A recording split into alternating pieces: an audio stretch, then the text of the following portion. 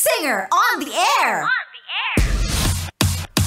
And we're back! Kasama niyo ba rin ang nag-iisang maganda sa umaga? Kanang kumontrato, Litz. Mamalasin ka bago matapos ang 2023. Maganda ako, hindi. Hindi man. hindi ka natatakot. anyway, bago natin ipakilala ang ating winner, gusto ko lang batiin yung mga nakikinig sa amin araw-araw. Ayan si Kuya Ambrosio daw na nakikinig sa akin. Well, Totoo ba yan? Of course, yung napakaganda mong sakay na si Zarina. Pakiingatan po yan, ha?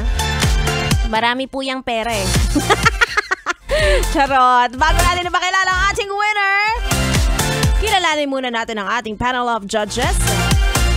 Kasama natin si Rico Paniero, Maria Morena at Laika Barista. And of course, ang ating DJ representative na si Miss Maria Christine Kagiwa.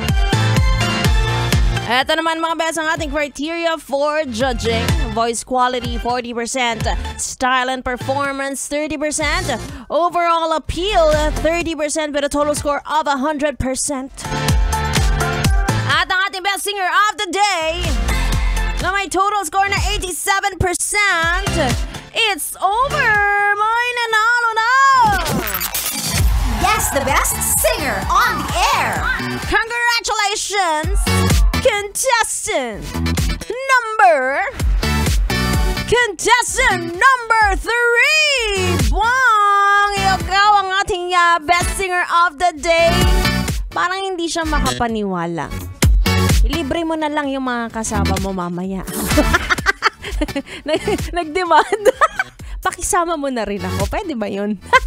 Charot! Ayan, meron kang 500 pesos at uh, merch from Yes The Best. And of course, makakasama ka namin tomorrow sa ating weekly finals. And of course, Maraming salamat din po sa aming mga contestants ngayong araw na ito at sa iyo, Besa, sinamahan kami. Kaya naman, kita-kits tayo ulit tomorrow dito lang sa nag-iisang singing contest sa balat ng radyo.